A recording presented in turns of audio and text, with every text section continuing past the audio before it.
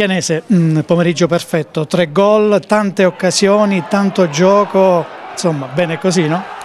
La squadra ha reagito bene dopo domenica, eh, iniziamo anche avendo degli esterni bassi a spingere su, sulle fasce, riusciamo a fare bene sulle catene, quindi oggi mi è piaciuta la squadra ha interpretato bene la partita, quindi siamo riusciti con Gatto che sta uscendo anche lui fuori il play Vincenzo e quindi riusciamo ad avere più geometria in questo caso.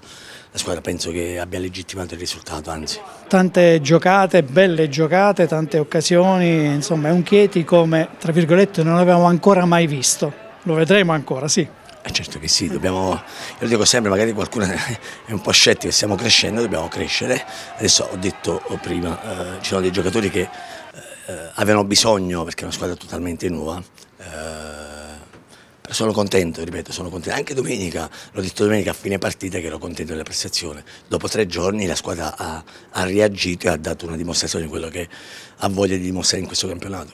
Eh, e là davanti, eh, oggi sono arrivati penso diverse verticalizzazioni, diversi cross e lui è stato bravo a finalizzare le occasioni avute.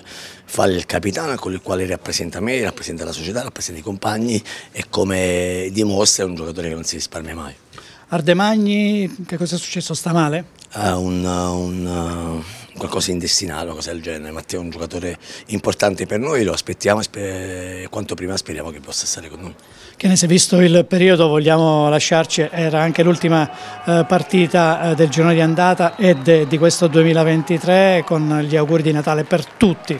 Esattamente, io faccio gli auguri al popolo teatino che è sempre vicino a noi, ci fa sentire sempre il sostegno e noi cercheremo come abbiamo sempre fatto di onorarlo in, in meglio, quindi che possano passare queste feste in famiglia. Con, eh, voglio fare eh, soprattutto eh, a quelli che non riescono a poter essere qui presenti e vorrei farlo anche a quelli là che non, sono, non possono assistere a queste partite, quindi un augurio globale a tutti i tifosi teatini.